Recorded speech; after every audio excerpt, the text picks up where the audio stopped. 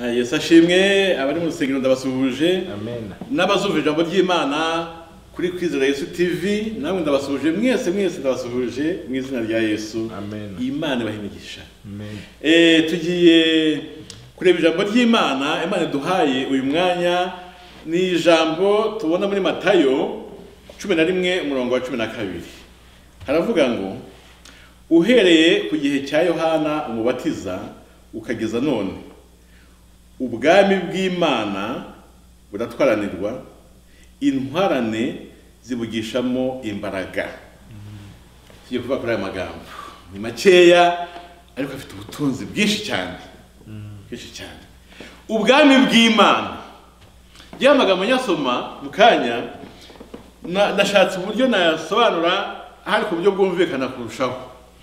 Ubwami bw'imana ni ibwami nyine naho imana ifite icyicaro mbese nushaka tuvuge mu ijuru cyangwa se tuvuge umujyi umujyi mwiza w'imana imana nyine yicayemo uwo mujyi ubwami bw'imana ni ahantu mu by'ukuri hazwi kandi hariho.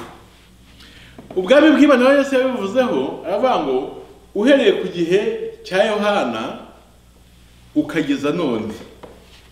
Muramuzi ko yohana yaje ah, ari integuza ya yesu aje kubwira abantu ko inyuma ye hagiye kuza undi mu- undi muntu udasanzwe ndetse yohana we rwose ahamya ko ari imana kandi koko ni byo avuga ko we gusa aje nk'integuza y'uwo nguwo ugiye kuza ndetse avuga ko atabasha no gufungura imishumi y'inkweto z'uwo nguwo ugiye kuza ubwo ni yohana yesu nyine yohana yavugaga ndetse yohana avuga ngo mbere na mbere hariho jambo ijambo yahoranye n'imana kandi ijambo yari imana. Uwo ni yohana wabyanditse Eh, yohana umubatiza we avuga nyine ko uwo yesu ugiye kuza atabasha no gufungura imishumi y'inkweto ze. Uwo ni yohana umubatiza wabivuze. Ah, uwo ku gihe cya yohana kugeza ku gihe cya yesu hari imyaka yabayeho iyo myaka yabayeho yesu niyo yavuzeho avuga ko ubwami bw'imana kuva icyo gihe cya yohana kugeza nyine igihe cya yesu Hmm? ngo ubwami bw'imana uhereye ku gihe cya yohana kugeza mu batiza kugeza ku gihe cya yesu ngo ubwami bwo mu ijuru bu- eh, bwo mu ijuru buratwaranirwa intwarane zibugishamo imbaraga ariko aya magambo nyahabwa nasanze uhereye ku gihe cya yohana kugeza ku gihe cya yesu ntaho bitaniye n'igihe turimo kuzageza igihe tuzajya mu ijuru. Kuko ingorane zari zihari icyo gihe n'ubu ziriho muri iki gihe cya none ubwo bwami bw'imana nyine uko byari bimeze icyo gihe bigoranye gutyo urebye n'ubu niko bimeze niyo mpamvu imana impaye ijambo ngo ndibabwire ubwami bw'imana rero ubwami bw'imana buratwaranirwa. Ubwami bw'imana buratwaranirwa kandi intwarane zibugishamo imbaraga. Nta ntawe ujyayo nta mbaraga akoresheje. Eh, aya magambo rero nanyahawe numvise ari amagambo akomeye cyane. Mm? Eh, gutwaranirwa urumva hari- harimo ibintu bimeze nko nko guhangana guhangana. Ariko guhangana kurimo si uko abantu barimo bajya muri ubwo bwami bari kugenda bashotora abandi ba- ngo baba- babahemukire oya. Ahubwo ba- bari gukoresha imbaraga eh, imbaraga bafite eh, bahanganye n'ibyo bifite imbaraga nanone bije kubabuza urugendo kubabuza gukomeza kubabuza gushikama kubabuza eh, ku- kuba abantu bari mu rugendo nyine bajya muri ubwo bwami hari imbaraga ziturwanya hari imbaraga zituruka hanze ziturwanya hari n'imbaraga satani atwinjizamo ziturwanya zituca intege zitu- zitubuza gukomeza. Ariko ibyo byose bigasa- bigasaba yuko ukoresha imbaraga kugira ngo uhangane na byo. Ntabwo ubwami bw'imana ari ukujenjeka ubwami bw'imana umuntu umwe wavuze ngo umuntu umwe yagiye kubaza umupasiteri atari ko pasiteri ko mbona kujya mu ijoro bigoye ubu nzabigenza gute ko ndakizwa ariko ndajya kubona nkabona sinzi ukuntu bigenze nkumva mbaye umunyantege nkeya nkumva mbese bibaye nk'ibinaniye.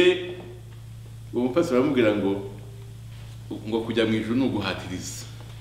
Guhatiriza ni ugushyiramo imbaraga ni ugu- ni ugusunika ni ugu- ni ugu- ni ugu- mbese guhatiriza murabyumva ni ugushyiramo umuhati ni ugushyiramo imbaraga ni ugukoresha uburyo bwose bubangamira ibikurwanya ni ukwiyama ni ukwigizayo ni ugusunika ni ugutera imigeri ni uku mbese ni ugukubita ibipfunsi? Ndetse paul yaravuze ati gukubita ibipfunsi rwose rwadahusha. Mbese ubwami bwo mu ijuru ni ni ukurwana n'intambara ni uguhaguruka ukarwanira ubwo bwami. Ntabwo ari ubwami bwo kujyamo ntabwo ari ukubutoragura mu muhanda. Ntabwo ari umuntu uza ngo abuterere gutya ubwami bw'imana ubwami bw'imana ubwami bwo mu ijuru kubujyamo ni uguhatana kubujyamo ni uguhangana kubujyamo ni ukurwana kubujyamo ni ukwiyama kubujyamo ni ugusunika kubujyamo ni ugukubita ibipfunsi ku- kubujyamo mbese ni ukubangamira ibintu byose nawe bikubangamiye kuko ibyo ngibyo biba bishingitse biba bihari. Kandi umunsi ku wundi biba bihari. Muri ubwo bwami bw'imana iyo tujyayo hari za take ziza. Hari ibitero bituzaho. Hari amabomba tugwaho ha- hari imyambi iza. Ha- hari amasasu avuza ubuhuha. Hari hari inkota zirabya ngo zitwice. Hari amacumu satani arekura. Ariko ibyo byose tugomba guhangana na byo. Ubwami bw'imana nyine ubwami bw'imana hano baratubwiye ngo buratwaranirwa. Intwarane zibugishamo imbaraga. Uyu munsi nje kubabwira ko imbaraga zikenewe mu rugendo urimo ujya mu ijuru. Ntabwo uzajya mu ijuru utarwana ntibishoboka ntabwo uzajya mu ijuru udafite ibikubangamiye ntibishoboka ntabwo uzajya mu ijuru ha- ha- hat- hatari abantu ba- ba- ba- babikuza hatari imbaraga zikurwanya ntabwo uzajya mu ijuru nta bintu wumva biri kugusubiza inyuma iyo wavuye. Kujya mu ijuru ni uguhatana kujya mu ijuru ni ukurwana kujya mu ijuru ni uku ni- ugusenya ibyo usanze imbere yawe satani yubatse ukabikubita umugeri bigahirima mbese satani akora ibishobotse byose akoresha imyuka mibi agakoresha aba- abantu ibyo byose ni ibyerekana yuko kujya mu ijuru ntabwo ari ugukina kujya mu ijuru si imishinyiko kujya mu ijuru si si umukino kujya mu ijuru ni ibintu bikomeye ariko bishoboka kujya mu ijuru rwose urumva ko hano eh, birasobanutse neza ko ubwami bwo mu ijuru buratwaranirwa. Intwarane zibugishamo imbaraga. Ntabwo uzajya mu ijoro wipfumbase ntabwo uzajya mu ijoro ufashe mu mifuka ntabwo uzajya mu ijoro eh, mbese witwaye nk'umuntu utajyayo. Kujya mu ijoro ni intambara rwose ni intambara ya buri mwanya ya buri munsi kuko ibizakubangamira biza- bizaba byinshi. Satani azakubangamira ku giti cye abadayimoni bazahaguruka abantu bazakurwanya hari imbaraga zizumva zigusunika zigusubiza inyuma hari imbaraga hari ibitero bizumva biza ha- hari hari amabomba azajya wumva ari mu kuza hari imyambi y'umwanzi izagiza ibyo byose ni uguhangana. Niyo mpamvu nyine ugomba kwigishamo imbaraga. Ugomba kumenya ko uri ku rugamba ntucike intege ntagire ibintu bikubuza gukomeza urugendo ibyo bizabaho ku muntu wese. Ndagira ngo mbaburire mwese abumva ijambo ry'imana ntabwo uzajya mu ijuru utekanye gutya ibintu byose ari oke byanze bikunze agomba kuboneka intambara ziza ziturutse aho ntamenya ariko zizaza. Kandi ijambo ry'imana tuburiye yuko tugomba kuba abantu biteguye kurwana. Ubwo ibitero byose uko bizaza ujye uhangana na byo utsinde mu izina rya yesu. Eh, izi mbaraga ziri kuvugwa aha ngaha si imbaraga zo gushotora abandi bantu si imbaraga zo kujya gukubita abantu si imbaraga zo gukoresha nabi ni imbaraga ugomba kuba ufite kugira ngo zihangane n'izikurwanya zikubuza kujya mu ijuru. Izi mbaraga rero zikoreshwa mu buryo ahanini bwo kwigizayo kuvanaho gutsinda ibi- ibitero bije no kugira ngo zigusunike ukomeze ujye imbere. Kuko urwana ugenda. Ntabwo urwana uhagaze hamwe kujya mu ijuru urwana ugenda ntabwo urwana uhagaze nta n'ubwo urwana wicaye ahubwo urwana ukomeza kuko kimwe mu byo satani aba ashaka ni uko udakomeza urugendo. Uvuga uti mbo urabona ko watewe guma aho ngaho ya watewe koko icyo gitero gitsinde komeza. Mbese ni ukuvuga ngo target cyangwa se intego ni uko ukomeza urugendo ujya mu ijuru. Ni ukuvuga ngo ibiza byose ubi- ubirwanya ugenda. Ubi- ubirwanya ugenda. Ntabwo ubirwanya uri hamwe ahubwo ubirwanya ugenda. Eh, ukabitsinda ugakomeza urugendo. Bizaza bizatinda bimwe haza ibindi. Ntabwo utsinda uyu munsi ngo uvuge ngo oh ndatsinze intambara ivuyeho haza indi. Ndetse gukomeza ugenda ujya imbere hagenda haza intambara ziruta izo wanyuzemo mu minsi yashize. Ariko ukomeza ugende kandi ibije byose ubitsinde mu izina rya yesu. Kandi uba umuntu witeguye kuba waterwa birashoboka eh, rwose ugomba kuba uri umuntu witeguye kuko satani we ntabwo yishimiye ko ukomeje urugendo ni ukuvuga ngo ibyo ukora byose bikoreye witeguye ko ushobora guterwa nanone mu bundi buryo butatewemo ejo hashize ariko nabwo ugomba guhangana. Ubwami bw'imana hano buragereranywa n'ubwami eh, butwaranirwa kandi ngo intwarane zibugishamo imbaraga. Ntabwo ari ubwami bwo kubona eh, ngo ube wicaye aho ngaho gusa gutegereje ko uzabwinjiramo ngo bu- buze bukwi- bu- bukwizanire mbese ubone ubone buraje bwinjiyemo ugomba kuhatana ugomba gukomeza urugendo kandi ukarwana. Uyu mujyi rero tugomba kujyamo w'ubwo bwami bw'imana. Ni umujyi ha- hari imbaraga zidusunika zitubuza gukomeza ngo tugende ariko izo mbaraga tugomba kuzitsinda mu izina rya yesu. Niyo mpamvu nyine tugomba kuba abantu b'abanye- b'abanyentambara. Tugomba kuba abantu b'abarwanyi tugomba kuba abantu biteguye guhangana n'ibitero byose byazanwa na satani ubwe eh, byazanwa n'abantu uko byamera kose hari igihe uzumva ibintu bije bikurwanya kandi bifite- imbaraga uzakomeze urugendo rwawe urwanye ariko ukomeje urugendo ntuzahagume hamwe ngo reka mbe mpagaze mpagane n'ibi oya komeza urugendo uhangane na byo ariko uri kugenda. Ntucike intege hanyuma ngo uvuge uti reka noneho ngo ntebe gutya nguma hamwe hanyuma ndwane gusa mpagaze ugomba gukomeza urugendo. Eh, kandi ugomba gukoresha eh, mu gifaransa bavuga violence eh, ariko ni eh, itagamije itagamije guhutaza abantu ahubwo ni violence yo guhangana ku buryo bukomeye. Mbese ni ihangana rikomeye ugakoresha imbaraga ziruta izije zikurwanya. Kuko iyo umwanzi aguteye ukagira amahirwe yo kubona ukuntu aje ushaka ibikoresho biruta ibye ukoresha imbaraga ziruta izo azanye kugira ngo ubashe gutsinda. Bityo rero ni ukuvuga ngo ugomba kuba umuntu witeguye. Ah, muri ibi bihugu tubamo hari ibyo bita storm muri ibi bihugu tubamo hari hajya ha- hazamo imiyaga ikomeye cyane eh, igatwara ikagusha n'ibiti n'amazu n'iki byose.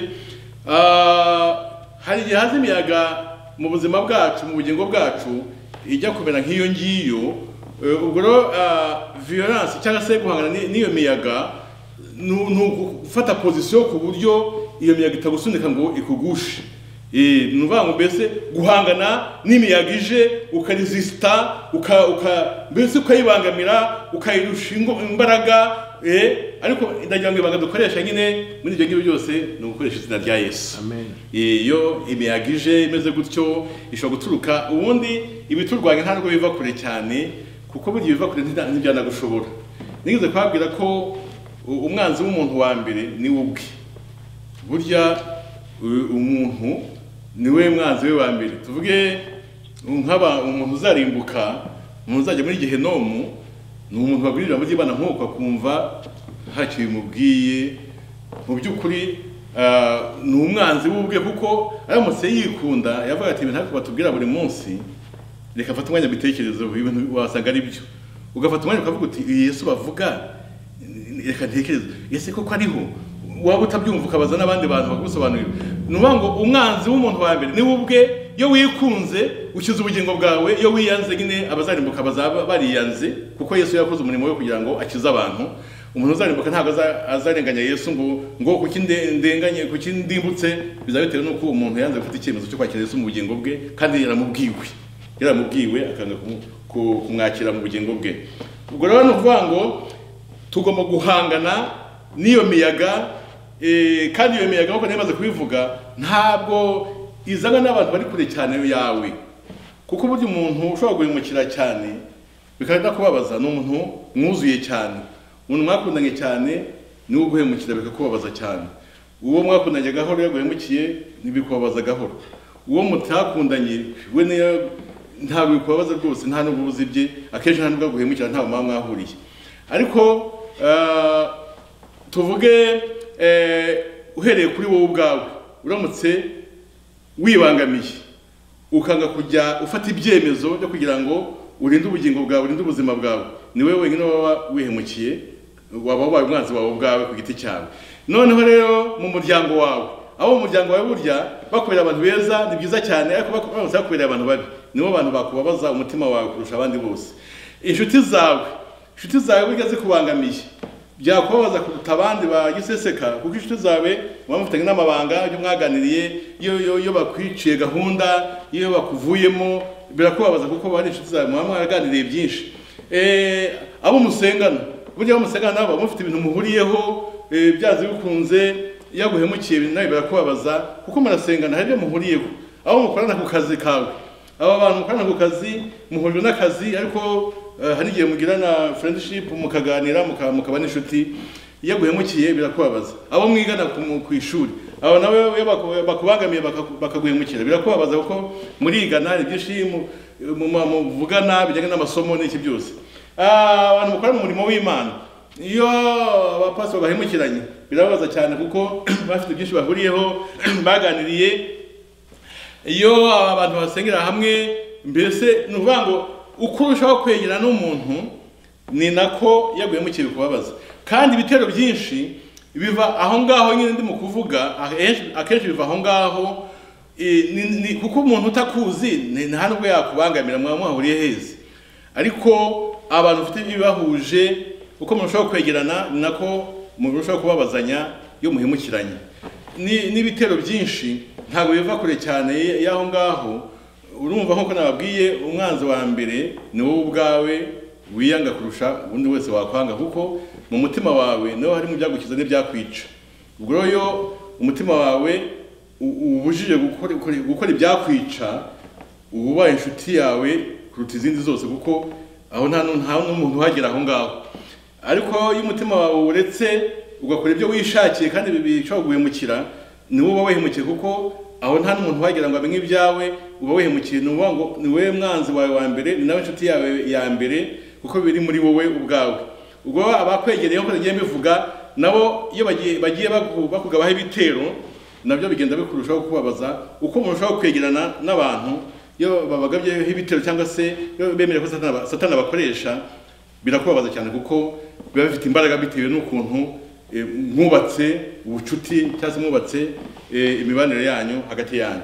Uyu munsi rero turi kuvuga ku magambo avuga ko ubwami bw'imana buraharanirwa mu by'ukuri. Ntabwo ari ibintu bitoragura mu muhanda gukizwa kwawe ntuzavuge ngo bizikora nzajya mu ijuru tu oya byanze bikunze ntabwo agomba kurwana. Kandi umukristo wese akwiye kumenya ikintu yuko kujya mu u- ari uguharanira ubwo bwami kuko yesu yadupfiriye aduha agakiza eh, twarakijijwe kubwo kumwizera ariko kujyayo. Hari intambara tugomba kurwana byanze bikunze kuko mu rugendo harimo imitego ya satani harimo harimo ibitero by'umwanzi harimo ibintu satani yateze imbere yacu hari ibitero byinshi tugabaho buri munsi. Satani kandi ni umunyamwere cyane akoresha ibintu bitunguranye kubona igitero kije mu buryo utatekerezaga kizanywe n'umuntu yenda utakekaga cyangwa se ukabona imbaraga zije zikurwanya utazi ahantu zivuye ibyo byose ugomba kuba uri umuntu witeguye guhangana. Ngiye gusoza iri jambo nk'uko ryanditse ngo ubwami bwo mu ijuru buratwaranirwa intwarane zibugishamo imbaraga.